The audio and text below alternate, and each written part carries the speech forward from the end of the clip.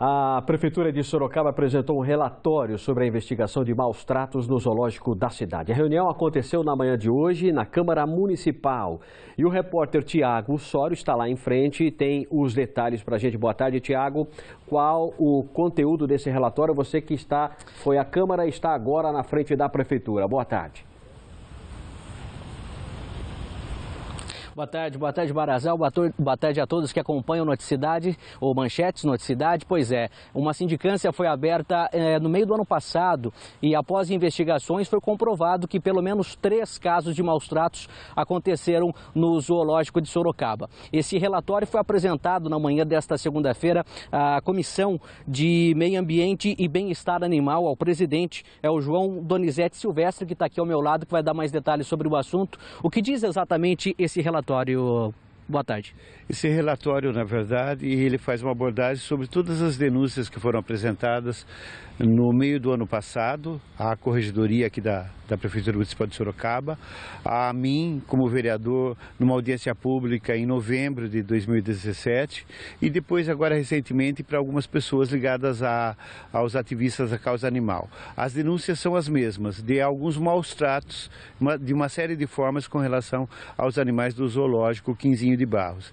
Então nós fomos, cobramos, desde o final do ano passado estamos cobrando a corregedoria aqui da, da Prefeitura Municipal de Sorocaba. E a Corregedoria pediu um prazo, esse prazo seria entre abril e maio deste ano. E é, eles apresentaram na manhã de hoje esse relatório, nós vamos ler, vamos analisar com profundidade, mas basicamente pela explicação dada pelo corregedor, alguns problemas realmente tinham base na denúncia, como por exemplo, estava se usando medicamentos vencidos, né, pelo menos se constatou lá o corregedor de que existia medicamentos com prazo já de vencimento já passado.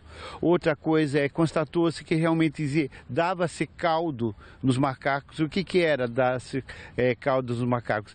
É estimular, é, forçava eles a um processo de afogamento para eles criarem a versão da água e não atravessarem a, a ilha. Mas isso não era feito agora. Foi feito até 2015, quando, nem o período que nós recebíamos os primatas de outros lugares vindo aqui para o zoológico de Sorocaba.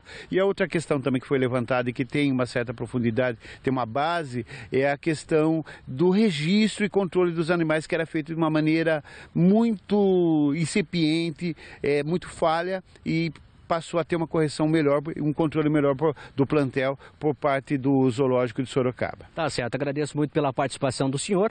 Então, esse assunto ainda é, será discutido, agora será apresentado por essa comissão para que depois sejam tomadas as devidas providências. É com você, Eduardo Barazal. Tá bom, pelo menos por enquanto a gente está vendo aí que esse negócio parou, os fatos pararam de acontecer. Obrigado, viu, Tiago?